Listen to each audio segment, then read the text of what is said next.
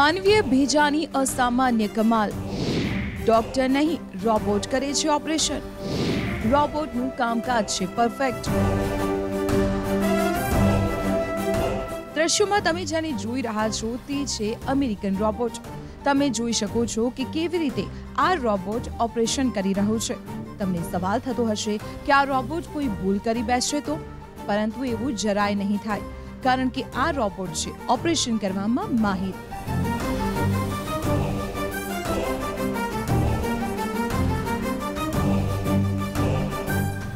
આ છે એક એવો રોબોટ જે જાતે જ ઓપરેશન કરે છે.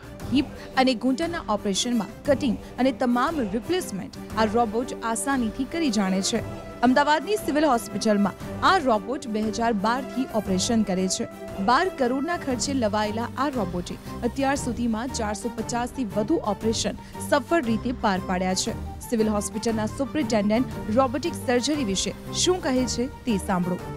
રોબોટને અમે પહેલેથી કમાન્ડ આપીએ છીએ કે અમુક જ વસ્તુ કાપવાની, એટલે એ કમાન્ડ પ્રમાણેના જે કટ છે એ લેતા હોય છે. બાકી મેન્યુઅલી કટ લઈએ, એના કરતાં આ ઘણા સારી રીતે આ રોબોટ કટ લેતો હોય છે. બે હજાર બારમાં એ રોબોટ લગભગ અમારે અગિયાર કરોડને સમથિંગ થયેલો. અને અત્યારે વર્ષે અમે સાહીઠથી સિત્તેર જેટલા ઓપરેશન આ રોબોટ દ્વારા કરાવવામાં આવે છે. અને અત્યાર સુધીમાં લગભગ સાડી ચારસોથી વધારે ઓપરેશન રોબોટ દ્વારા કરવામાં આવેલા છે. આ રોબોટ બે ભાગમાં કામ કરે છે. પહેલો ભાગ દર્દીના ઓપરેશનનું છે, જ્યારે બીજો ભાગ કંટ્રોલ પેનલનો હોય છે, જેને ડોક્ટર દ્વારા ઓપરેટ કરવામાં આવે છે. કંટ્રોલ પેનલ પર રહેલી હાઈ સ્ક્રીન પર દર્દીના જોઈન્ટને થ્રી ડાયમેન્શનથી જોઈ શકાય છે. થ્રી ડાયમેન્શન્સથી મેળવેલા તમામ ડેટાને રોબોટ પ્રોસેસ કરીને ઓપરેશન પેનલને મોકલે છે, જ્યાં ઓપરેશન પેનલ દર્દીનું ઓપરેશન કરે છે. આ સર્જરીમાં રોબોટને આપવામાં આવેલા તમામ કમાન્ડ પણ તેની મેમરીમાં રહેશે, જેથી તે કમાન્ડ પ્રમાણેના માપથી જ હાડકાનું કટિંગ અને ફિટિંગ પણ કરે છે.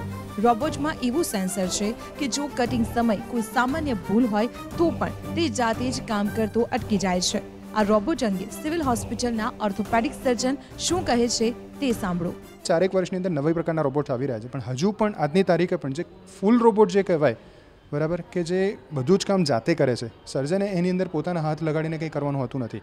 આપણે જેવી રીતે લાઈવ સર્જરીમાં જોયું કે એઝ અ સર્જન મારા હાથમાં ખાલી કંટ્રોલ છે કે એને રોકવો ક્યારે એને એ એના ટૂલને મારે ઓબ્ઝર્વ કરવાનું છે. કટિંગનું બધું જ કામ એ જાતે કરે છે. મારો હાથ રોબોટના હાથ સાથે ક્યાંય ટચ થયેલો હોતો નથી. બરાબર? એટલે આ એક ફૂલ્લી રોબોટિક સિસ્ટમ કહેવાય, જે આપણા દેશમાં એક જ છે અત્યારે.